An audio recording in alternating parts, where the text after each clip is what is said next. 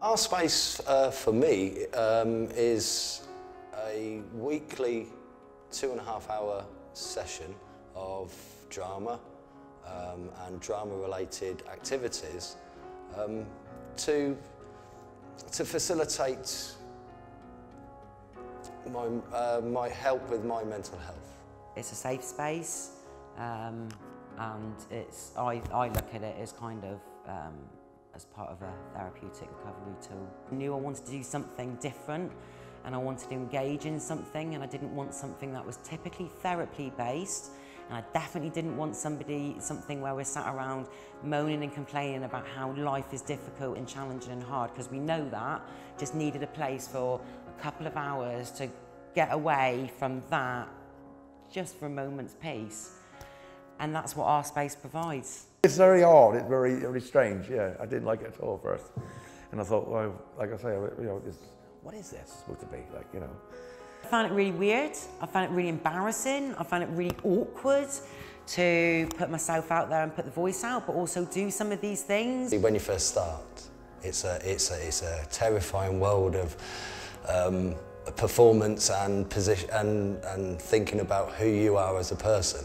Suddenly you think, I can't do this. But thankfully, the way that the, the sessions are set up, especially with um, Jade and the other um, facilitators of it, they very quickly make you feel that it's not foolish. It's not foolish to be there. It's not something that is an embarrassment. It's not something that is a judgment upon you. It was quite a big chunk of time where I was lonely and isolated. And I knew I needed to be around people to start moving myself forward. And coming here that and once a week for two hours, two and a half hours, however long it is, and I didn't even come to all of them because some days I couldn't. And it was just that one thing to come out the house of, but it was that one, two hours in in seven days where I smiled and grinned the whole way through to the point I walk out, my face was aching.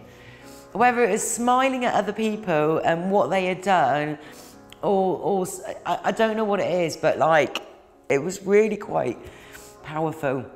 Meeting people and socialising and you're mingling now and you get to know everybody and you get make friends as well. And that's what I like. You socialise and you get enthusiastic and once you've been starting it every week, you want to go all the time. This is the most exciting thing I had to stay for. It's, I've stayed on this for a long, long time, and I really love it and I really enjoy it.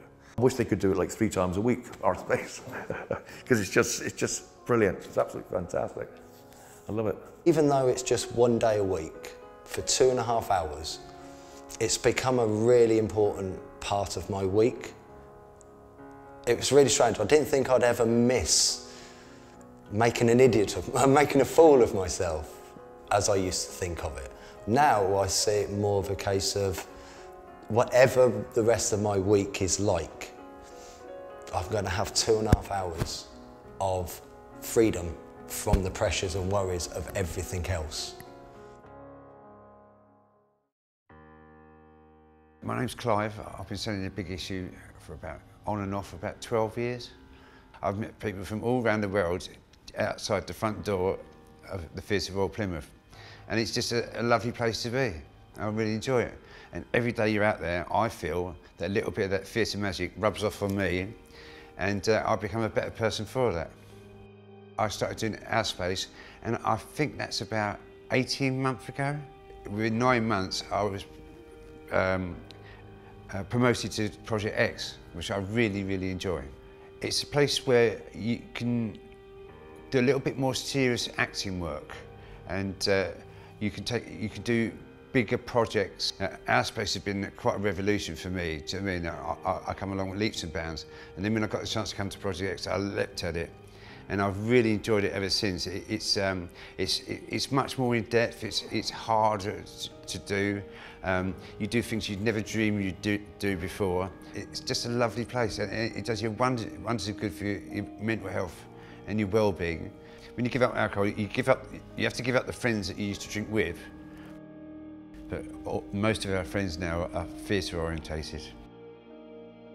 As a, a, member of Project X we're, we're, and Our Space, we're very fortunate that with, with the funding that come in from the big lottery funds, Our Space and Project X are uh, able to give people tickets for a Thursday night normally at the Drum and quite a few of us take advantage of that.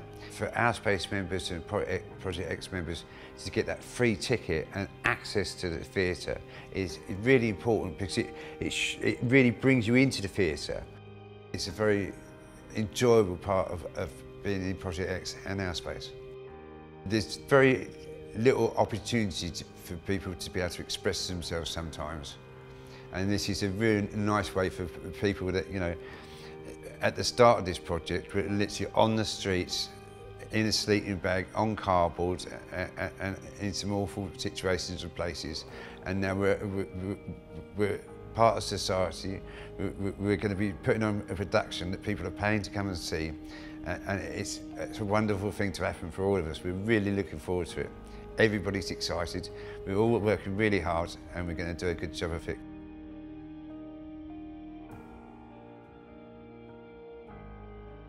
My communication skills are, are, are, are 10 times stronger than they were. I'm learning to use my voice a lot more than, than I expected. Do you mean? I, am more conscious, so I'm improving the quality of my voice. I'm improving the quality of which I, I can converse with members of the public and members of, of the theatre. So I, I'm improving it leaps and bounds really, and I'm really enjoying it. Every time I think of having a drink or anything like that, I think theatre. The theatre is my life.